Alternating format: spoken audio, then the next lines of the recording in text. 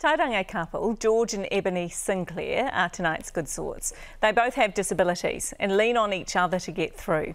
When they came out of lockdown, they realised they had each other, but not everyone was as lucky. So they set about changing that. Here's Hayden Jones. During lockdown, George Sinclair was not alone. His wife Ebony is never far away. They need each other for things like baking. You hold that one. He's usually the mixer because he's got the muscles. Ebony has a type of dwarfism that makes opening the fridge a challenge. Oh. And George was born with cerebral palsy. They got together five years ago over a never-ending phone call. We were talking from 8, 8 o'clock at night all the way till 6 in the morning. George and Ebony have now been married two years. We click so well and she's just my soulmate. When lockdown finished, Ebony knew others with disabilities may be struggling for company, so... I went on Facebook. Here it is. Ooh. She invited people, anyone, for a coffee. I was very nervous because I didn't know what the outcome was going to be. Then they went to a cafe. Thank you. There was Deb, who heard about it by word of mouth. She was one of the 11 who showed for that first meeting.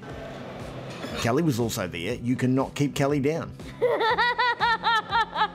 Ebony couldn't believe it. I was actually really blown away. Alrighty. Fast forward a year. Can I have everyone's attention? Ebony's coffee group has turned into lunch. Hi, Lou. And her 11 friends have become 50 to 70 people. It's not complicated, there's no signing up, it's just a meet and greet. For a first time, I've got to say, it's quite cool. Lucy has the hang of it. Make new friends. All it takes is just like a little simple conversation to make them really happy. You're my cuddle buddy, aren't you? You know, if you smile, they'll smile. There's lunch, plenty of chat. And before they go, Duncan, come on. Ebony checks in on everyone. Hello everyone, my name is Sam. Ebony Sinclair's lunch has turned into a movement. No, I'm staying. We got, uh, I think, 78 people here today. You know, you don't need an organisation behind you to get people together. Ebony and George Sinclair don't need more company, they have each other.